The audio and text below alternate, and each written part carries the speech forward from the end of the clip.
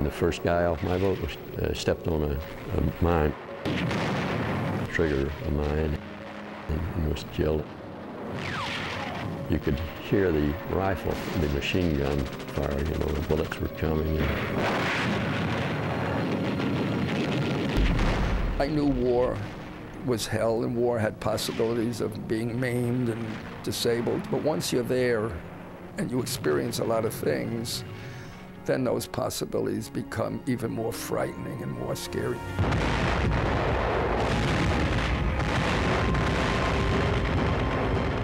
When you're out there 24-7, all you could see is skies and blue water, and knowing that a submarine liable to come up at any minute, and there's no good feeling.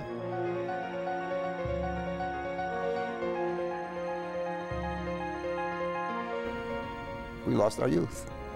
We didn't have we didn't have a chance to grow up as young kids or whatever, young people.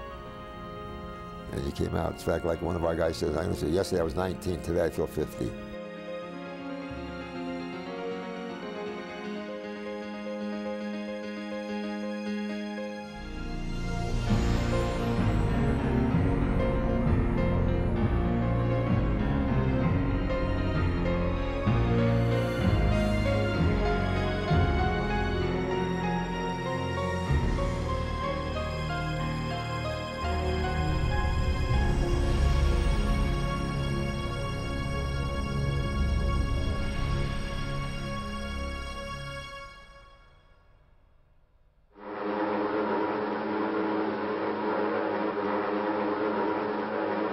The misty Pacific skies, like tiny locusts, they swarmed in from the sea.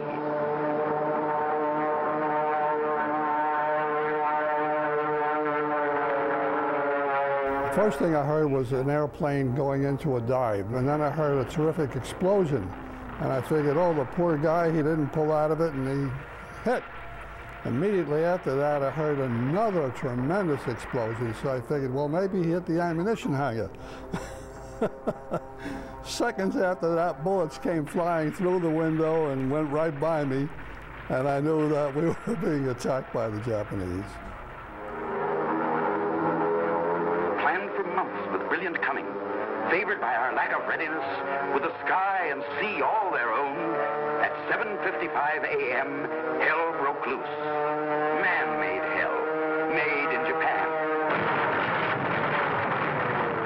I see everybody running out to the balcony. So we all ran out there, no clothes, nude. And we were saying, what the heck are they doing maneuvers on Sunday? And I said, not only that, but they're using live bullets. Look at the guys falling.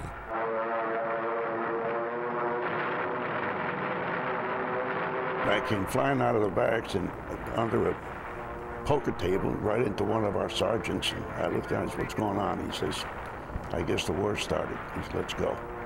Go where? We got to get to the bomb dump, our arsenal. We got to get some bombs out to the planes, chase these guys. And that's what we did.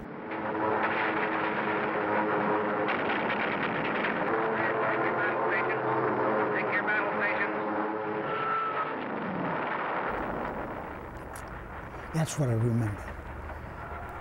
I was wounded on December 7th.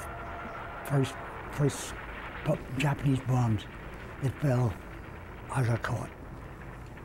And my story is that if I hadn't been wounded on that morning as a result of that Japanese bomb, I wouldn't be here talking to you. I would not be talking to you because all my buddies went on into the World War II and went down to the South Pacific and elsewhere. All were, all, were, all not, all did not return.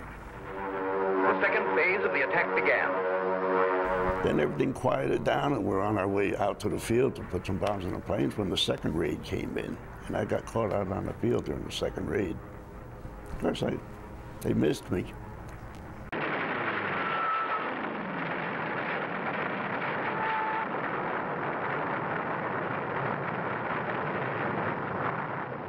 You could really see the devastation. My brother-in-law was uh, one of the ones that had it was on the ship that opened up the harbor that got the people out of there at the time of the bombing.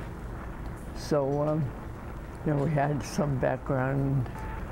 We got to see quite a lot of it. Uh, It's amazing that they really got out of that.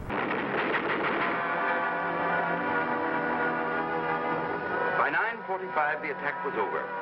One hour and 50 minutes of perfidy. The last wave of the invaders was beaten off. Yes, beaten off by our men, who against overwhelming odds, heroically and magnificently gave notice to the world that we had only begun to fight.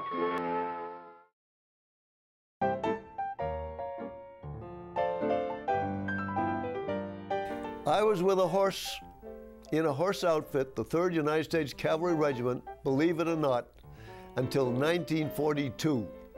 Hitler was in control of Europe. He marched down the Champs-Élysées in June of 1940.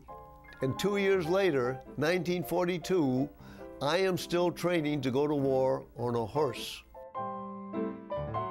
I was assigned as a machine gunner because I was a big, robust guy. I was about 123, and I was about 5'2", so I qualified. The guy thought I was John Wayne, but I really wasn't.